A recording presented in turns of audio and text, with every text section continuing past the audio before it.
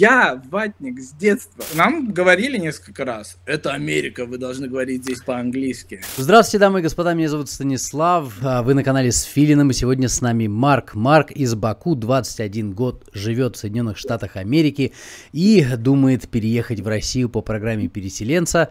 А сегодня он нам расскажет свою историю, какая у него была жизнь в Америке, то есть какая у него сейчас жизнь в Америке, его опыт и так далее. И еще раз, ну, как всегда, вы уже, наверное, знаете, знаете, что я скажу а, сейчас. Это зайдите в описании. Там будут все ссылочки на все остальные каналы. Обязательно зайдите и подпишитесь, потому что надо. Вдруг удалят меня с Ютуба, и где вы меня потом будете искать, я не знаю. Потом будете присылать мне письма, Станислав, как тебя найти, а я скажу, надо было раньше подписываться. Мне и так писем много, много, к сожалению, не на все ответил. Ладно, Марк, добро пожаловать на канал. Благодарю, Стас.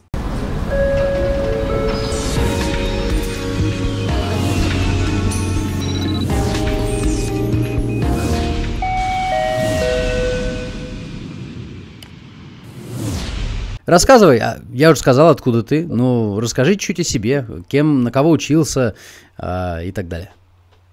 Да, конечно. А, ну, значит, а, мы приехали, мы переехали в Америку из Баку. А, ну, у моей семьи такое, а, мы со всех краев бывшего Советского Союза, можно сказать. А вообще со стороны матери ее родственники переехали в Баку из в то время Свердловска, ну, сегодня Екатеринбурга. И в основном из-за климата. Это было перед распадом Союза. А познакомился с моим отцом уже в Баку. И, можно сказать, заставили там в 90-х. А вот. У нас были родственники, мы, конечно, к ним ездили в течение 90-х. И вот э, вплоть до нашего переезда в 2002 году. Вначале мой отец в 2000-м, потом в 2002-м уже мама, брат и я. А, изначально мы еще до распада, конечно, хотели переехать обратно в Россию после окончания института моих родителей, но, естественно, не получилось. И уже когда в начале 2000-х точно так же думали, что буквально еще ну, в течение года-двух мы тоже переедем. То есть э, все равно переедем. Но моему отцу подвернулась возможность переехать, приехать сюда, попробовать, и так вот все и получилось. То есть эм, ему, конечно, больше было, ему больше хотелось сюда переехать, но а мама и я, я еще в том возрасте, я был очень осознанный ребенок, и я не хотел. Я хотел в Россию еще тогда. Вот. Э, здесь э, вначале я, мои родители до сих пор в Нью-Йорке, а я жил в Нью-Йорке, потом учился в Рочестере, штат Нью-Йорк, а потом э, уже по работе сейчас живу в агломерации Филадельфии, то есть пригород Филадельфии, но не совсем сама Филадельфия. Вот. Учился я в университете на химика, инженера, технолога, то есть я получил и бакалавр, и год спустя пошел дальше учиться на магистратуру. Вот. Сейчас работаю в фармацевтической промышленности. А, вот как-то так. Понятно. А не знаю, сможешь ли ты вспомнить причины, по которым ты и твоя семья, вы переехали в Соединенные Штаты Америки? Ну, да, конечно. В принципе, причина понятная, в то время было тяжело финансово, экономически. И, конечно, зву- звучали сентименты того, что будущего нет здесь, там, ну, особенно в Азербайджане, если говорить на тот момент. Вот. И мы же не знали, там, получится даже переехать, не получится переехать в Россию. Ну, и там было сложно, но все равно были какие-то перспективы даже в то время, особенно если уже говорить о начале 2000-х, что все-таки уже что-то пошло. Особенно после 98 -го года. Вот. После дефолта, я имею в виду. Mm-hmm, да-да. Вот. А, поэтому в основном экономические сказки про свободу, демократию. Да, сегодня мы поговорим про свободу и да. про демократию, это точно. Да. Вот. Так что вот такие причины. Понятно. А, хорошо, а в каких городах ты жил в Штатах? Да, значит, э, с, ну, с родителями я жил э, в Бруклине, да, в городе Нью-Йорк. А э, Рочестер, Нью-Йорк, штат Нью-Йорк, там я учился. И сейчас уже это Филадельфия, штат Пенсильвания. Угу. Интересно, я как раз подавал, э, я хотел учиться, ну, либо в Рочестер, либо там, я куда еще подавал, SJU, вдруг Скрантон, другие разные университеты, вот, да. как раз э, Рочестер меня тоже принял, но я сказал нет, и выбрал университет Филадельфии, вот, где я потом понял, что такое Филадельфия, это еще был э, 2000, 2005 по 2009 год, а там, кажется, все еще было тогда не так уж и плохо, как сейчас, хотя я не знаю. А, может быть, что-то поменялось. Последний раз я был там в 15 или в 16 году. В 15 точно, в 15 Мы еще ехали в Атлантик Сити. В Нью-Джерси остановились, а, были около Филадельфии. А, нет, я потом еще после этого там был. Да, точно, вру. Ладно, а, тогда дальше пойдем. А, вот твои первые впечатления, когда ты приехал в Америку после Баку, где э, у тебя были там свои друзья, э, погода, там свои привычки и так далее. Вот ты приехал в Америку, как? Да. Ну, на самом деле, в то время разница была колоссальная. Ну, не, во, не, не обязательно в хорошую сторону, но разница определенно чувствовалась. А тогда еще у нас вся вот эта сфера быстрого питания, все вот это все такое вот потребительство, оно еще не было так развито. И все эти новшества западные могли позволить в основном только те, которых были посостоятельные в то mm-hmm. время. Ну, приехав сюда и из аэропорта, когда мы ехали уже домой, наш отец встретил, меня, конечно, были жуткие впечатления, я сразу скажу. Мне показалось, что это на самом деле типа, самая крутая сторона в мире. Потому что, на самом деле, если посмотреть на Бруклин, да, вот эти все э, жилые дома, там, потом частные дома. Еще тогда снег выпал, и он был а, перед тем, как мы при, прилетели, и совсем такой, он был как-то не убран, где-то растаял, где-то еще там э, были остатки. Как-то картина была, конечно, не очень. Картина не маслом. Понятно. Да, это, это что касается первых впечатлений. Потом, а, естественно, сталкиваешься с местным колоритом. Я не смотрел фильм «Брат 2». Я не видел того, что... Я уже потом, когда посмотрел, это было прям точь-точь. Вот там э, одна сцена с черными, там то что все. Это было именно так. Вообще, э, в начале, когда мы, значит, переехали, посадили меня в седьмой класс. Вот. Я там рано в школу пошел, я был в восьмом вообще-то, а здесь уже по возрасту мне в седьмой. Угу. И э, в основном у нас был как типичный такой класс для иммигрантов, да, там ан- английский как второй язык. И э, там в основном, там в то время в основном были, ну, наверное, человек 12-14 с Украины, пару белорусов, пару, пару русских, ну, именно с России. Вот. И из других стран, конечно же. Но из наших вот в основном оттуда. И ну, время как бы на самом деле такая среда, она тебе помогает как-то более мягко приземлиться во все это. То, естественно, ты сразу тебе не нужно знать язык, а в совершенстве потихоньку учишься, вот. Но это если говорить вот сугубо о первых впечатлениях, наверное, первые несколько месяцев. Вот. Ну, не, Манхэттен, конечно, впечатлил в то время. Но для некоторых, вот у меня знакомые есть, для них вот эти небоскребы, вот эти улочки, они давят. Ну, я где-то с ним могу согласиться. Потому что на самом деле очень как-то все хмуро, особенно зимой, и когда там солнце не сияет. Мне э, не помню, кто мне, кто-то объяснил, вот сейчас жалко не помню, а почему именно американские города с большими высокими небоскребами, почему они сильно давят? Они там улицы узкие. Если приехать в наши города, вот, ну в большие, по крайней мере, у нас огромные бульвары. Вот взять, например, Можайское шоссе, которое проезжает, вот прям едешь мимо а, Москва-Сити, например, там Пять полос с одной стороны, пять или шесть с одной, пять или шесть с другой. Заходишь в Москва-Сити, там тоже есть пространство. там э, парк Победы, э, гуляешь, есть пространство. Когда вот у нас в наших городах это существует, это присутствует. Я никогда об этом не задумывался, пока мне кто-то это не объяснил. Я подумал, вот почему это так неприятно. Ну, ты первый раз прогулялся, видишь, ну ладно, хорошо, небоскребы, но узкие улицы, так же, как и в Торонто, который дублируется как Нью-Йорк а, иногда в фильмах. Так что вот почему такое иногда неприятное да. чувство. Да, так что, ну, это были мои сугубо вот это первые впечатления. Вот так вот, я бы сказал. Mm. Понятно. А, ну, а вот если, например, а, Нью-Йорк взять, вот как сам город, а, когда последний раз ты был в Нью-Йорке? Ну, я туда по несколько раз в году езжу mm-hmm. к родителям. Ну так вот. что...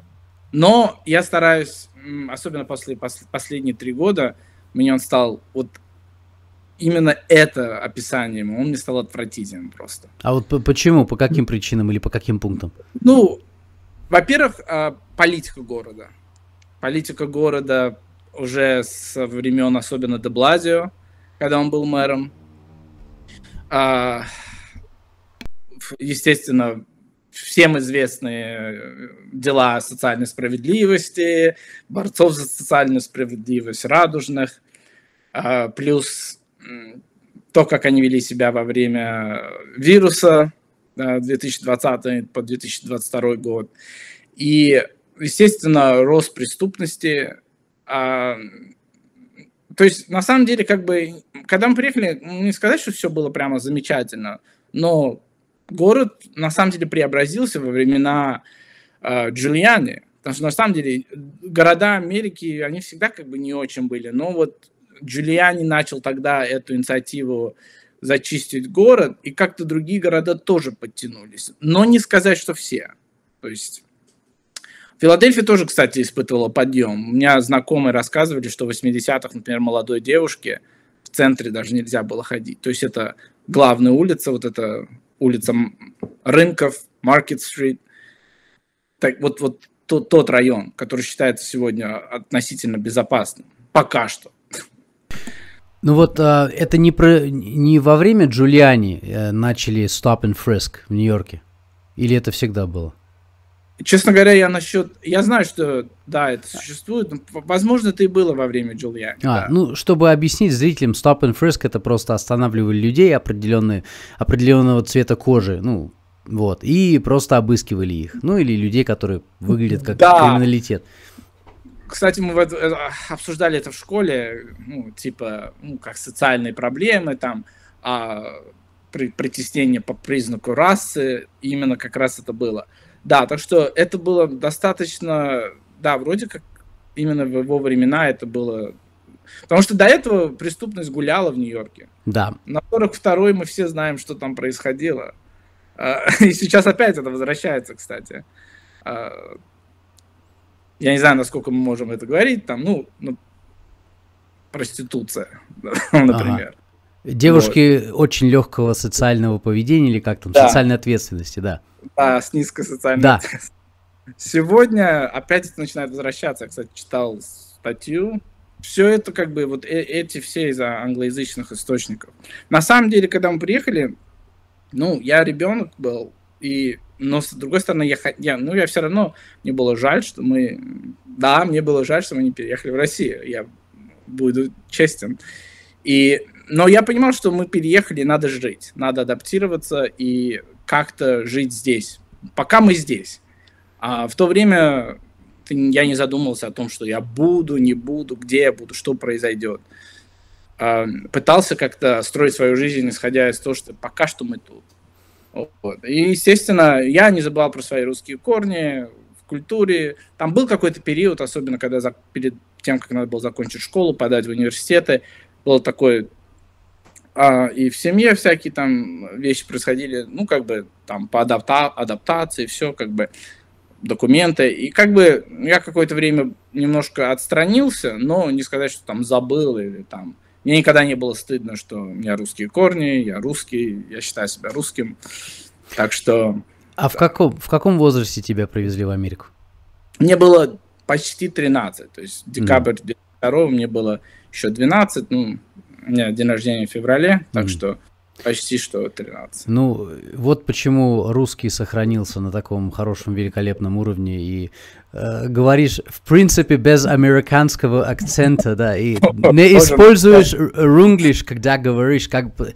Нет, это, это правда, это хорошо, потому что сам знаешь, некоторые даже и, ну да, в 13 приезжают, там в 10 приезжают, у них появляется такой акцент, либо вот этот жуткий рунглиш, от которого сложно избавиться, дамы и господа, у меня, в принципе, такие проблемы тоже были. Я постепенно, кстати, благодаря блогу, я подтянул русский язык и подтянул, а, ну да, просто русский язык, вот и все лучше да. разговариваю. Так что, да, слушай, великолепно, отлично, что он у тебя сохранился. Да, ну, кстати, сегодня, когда там смотрю или шоу какой-то, или сериал, начинает использовать или вот эти выражения, которые прямой перевод с английского, или просто вставляет эти слова. А меня это еще в том детстве. Я ватник с детства. Ну, это как шутка пускай. Ну, то есть мне никогда, я не любил английский язык, это, я был отличником того, как начал изучать английский язык в школе. Понятно, это можно назвать русский ватник из Баку переезжает обратно в Россию. Как это так, чтобы люди кликали? А... Точно, точно. Я не слушал даже музыку, будучи ребенком. Я всегда любил очень музыку. Да, ну, в основном то русская. Только уже когда мне было там, я подростком, уже начал как-то mm. переехать. То есть а- американскую музыку не слушал ты? Американскую, да. англоязычную mm. там, да. Вот. А американскую тем более. Когда я даже начал что-то слушать, это было в основном вот европейское. Вот на Европе плюс играли тогда, в то время. И оно как-то более мне заходило. Я когда сюда приехал, у меня был такой шок. Я включаю радио, а там, ну, буквально пару песен, которые были хитами там в Европе, в России, даже в Баку.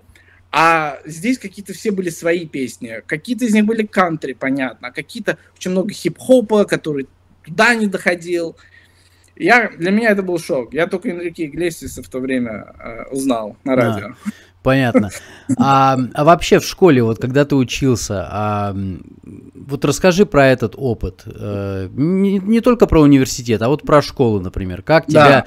американцы там воспринимали? А, был ли какие-то там раз... То есть делились ли люди по классам, там умные, тупые, там спортсмены, не спортсмены? Видел ли ты это или нет? Да. Да, в принципе, а, начнем как бы с такого, то, что было. А, у нас Вначале, когда мы были английский как второй язык, мы мало сталкивались с американцами в целом. У нас были в основном иммигранты, у нас только, спо... у нас только физкультура была смежная, то есть там было 2-3 класса сразу а, разных. Вот. И, но мы сдали тогда в конце года экзамен именно по математике и естественным наукам. И все наши советские, ну, постсоветские в основном, перешли в ускоренный, усложненный, усложненный класс, усложненную программу, именно которая была сосредоточена на математике и естественных науках. Она где-то была на полтора года вперед. Там такая система в Нью-Йорк-штате, что получалось на полтора года там. Mm-hmm. И а, это, конечно, спасло и помогло мне вообще не полностью умереть со скуки в, в этих в школе. Вот. А в том классе, да, там были в основном уже американцы, ну, мы как бы, они, ну, как американцы, да, Бруклин, там такой, своя специфика, да, и какие-то были иммигранты, которые здесь родились, но были действительно, там рядом район был, это э, Мидвуд, Джеймс Мэдисон, высшая школа, mm-hmm. э, старший класс. Э, это уже было, когда мы перешли в старший класс, а это там была своя средняя школа рядом. А так район, там, где Джеймс Мэдисон, и там морской парк, Marine парк mm-hmm. был такой. И там как бы в основном были ирландцы и итальянцы жили. Вот. Ну, такие, более-менее благополучно. Семьи были. Понятно. Вот. А тебя когда-нибудь там притесняли за то, что ты русский? А вот как раз наши одноклассники были нормальные, они как-то понимали еще. А вот когда мы с, с нашими разговаривали по-русски, там в очереди стояли, там за ну, э, на обед, я не знаю, во время длинной перемены вот этой, на, то нам говорили несколько раз, это Америка, вы должны говорить здесь по-английски. Ну, вот. Да. А, это дети, я не могу, это еще не так, и такого не было помешательства на политкорректности, а это были наши одногодки, mm да. mm Я знал их из параллельных классов там. Слушай, а вот такой нестандартный вопрос. А в Geno's еще висит вот эта надпись «Мы тут говорим только по-английски» или, или заказываете только по-английски или на английском? Это в этом, в Филадельфийской? Да, да, да, да, да. да. А, честно говоря, я там никогда не выставил эту. Серьезно? Ты никогда эту дрянь не ел? Блин, она я вкусная. Знаю, естественно, я знаю, что они есть, и там их несколько. Вот. Но в очередь я не выстаивал. А я не могу сказать наверняка. Мне кажется, наверное, сегодня сняли, mm. но... Ну, ты помнишь Когда... этот скандал, да?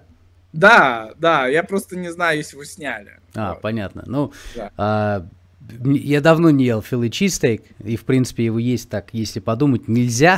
Но... Его раз в год максимум. Да-да-да, но это очень вкусная такая дрянь, вообще не полезная, очень жирная, сыр. Это, это... самая ужасная комбинация. Д- да. Хлеб, да. Жир, э, то есть хлеб, сыр и говядина, все вместе. Это как когда читаешь советы диетологов – Три вещи нельзя комбинировать. Слушай, если бы это еще был сыр, whiz это не сыр, это а, просто... А, это это whiz даже? Конечно, это... да. Вот почему они... Ты, ты подходишь к нему и говоришь with или without. А. И, не, не without, а именно with говоришь. Понятно, потому что cheese понятно. whiz. Да. Я не, да, я, я потому что иногда мы ходим, когда там, ну, в кафешки, рестораны там делают такие, но они кладут там именно сыр. Да. Э, прям при тебе делают такое, э, дробят там mm. и кладут уже кусочки сыра. А вот это я никогда не пробовал. Нет, ну может быть сейчас поменялось, но чизвиз это просто сам понимаешь, что химикаты в банке. Чизвиз, да, я прекрасно. Да-да-да-да.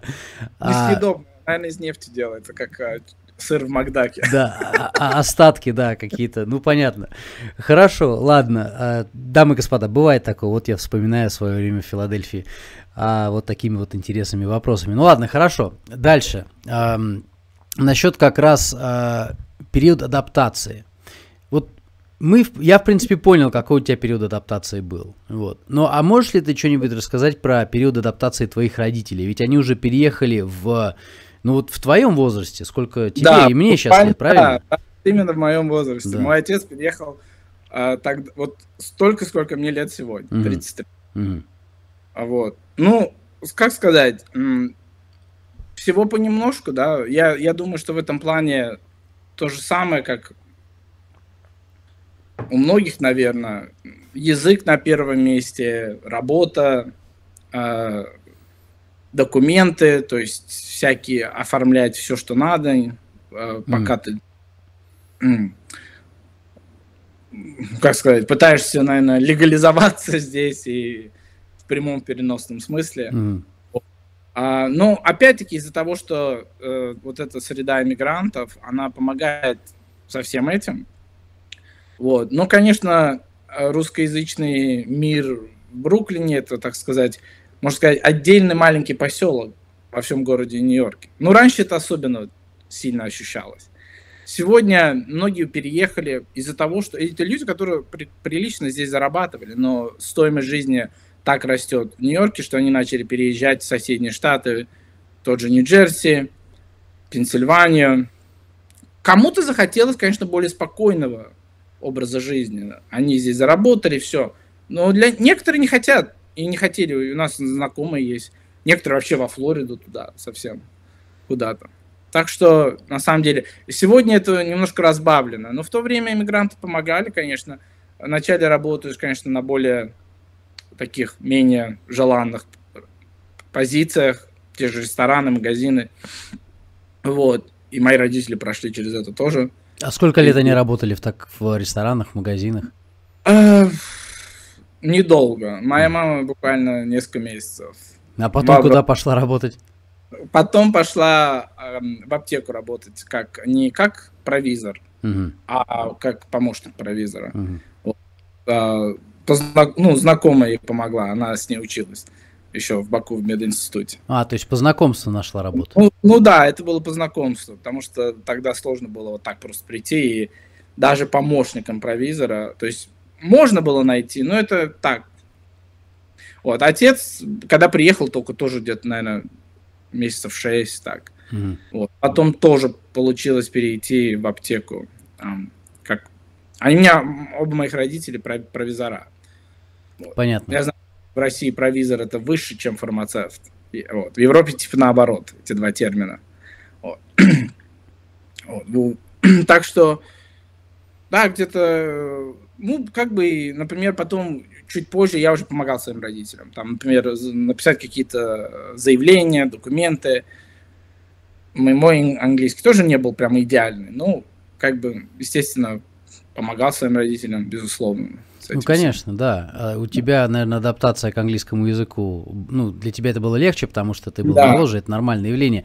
Ну, а вот просто люди не, даже не могут, например, себе представить, те, которые никогда не сталкивались с иммиграцией, насколько все это сложно. Все вот бумаги, все вот эти поездки, там, адвокаты и так далее, и так далее, и потом если ты приезжаешь а, не в свою среду, где ты не знаешь языка, не знаешь культуры и так далее, тут уже появляется и ностальгия, и одинокость, и это все нормально, через эту стадию нужно пройти, просто не все из нее вылезают. Вот в чем проблема. Э, э, об этой проблеме не знает то наше российское общество, которое некоторые из них пытаются да. не хочет туда переехать. Вот есть чего, а, чего ты можешь сказать насчет э, вот именно этого или, или нет?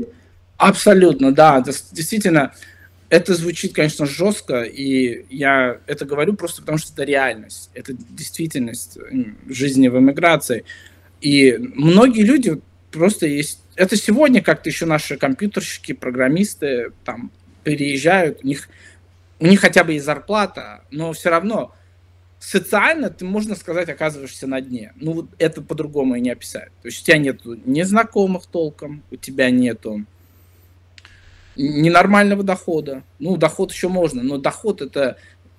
Это мы, мы поговорим, конечно, чуть позже, но доход не значит, что у тебя есть статус. То есть это просто деньги, это одно, там ты можешь заработать, жить прилично, но это не значит, что у тебя есть вот этот круг общения и все такое. Я бы сказал, что ты вообще в минус насчет статуса уходишь. Потому что вот сейчас, да. например, ты приедешь, а, если ты приедешь в Россию и будешь просто с кем-то разговаривать где-либо, оденешься нормально, прилично, и никто даже ничего о, о тебе не подумает. А если ты приезжаешь в Америку, в Англию, там, в другую какую-то страну, и ты, э, будучи иммигрантом, который плохо знаешь английский язык, я сейчас обобщаю, не просто вот ты, Марк, а вот, да. вот все, да, и ты начинаешь э, this, hi, my name, hello, вот, то понятно, что ты уже, э, то есть обычный американец, который ничего не добился, он на нуле, а иммигранты, они минус, это в минус уходишь, потому что на тебя по-другому есть, смотрят. Да, да, так и есть. Поэтому я говорю на дне, а там уже как это, да. То есть, mm И, честно говоря, даже черные себя чувствуют. Они иногда вот в Нью-Йорке. В Нью-Йорке вообще особые черные, они более наглые. Да. Продолжай. Да, и они, они чувствуют, что они вот чуть-чуть лучше иммигрантов. Это появляется. А они ведут себя понаглее. Это, это определенно можно заметить. А то, что ты русский, тебя не спасало никогда в Бруклине? А, я подрался с несколькими черными. Я был очень спокойный мальчик. Я никогда не дрался там, в Баку. Сюда приехал, и буквально пару раз э, меня преследовали два дебила каких-то, выше меня были. У них же типично это дай доллар, типа. Но это дай доллар, это как а, причина, да, так. И как от них я как-то еще тогда смог уйти, а пришлось в школе пару раз вот так. Вот, но я занимался восточными единоборствами до этого, а, айкидо в основном. И я как бы это э, по-разному говорят в уличном бою, все, но мне это помогало я справился. Ну, естественно. Да. Конечно, это помогает. И если ты вообще ничего не знаешь, конечно, у тебя, как говорят, disadvantage. Вот. А если ты хоть что-то знаешь, может быть, чуть-чуть тайквандо, чуть-чуть кикбокса, чуть-чуть еще, и тебе вообще с тобой сложно будет сражаться на улице. Конечно, помогает.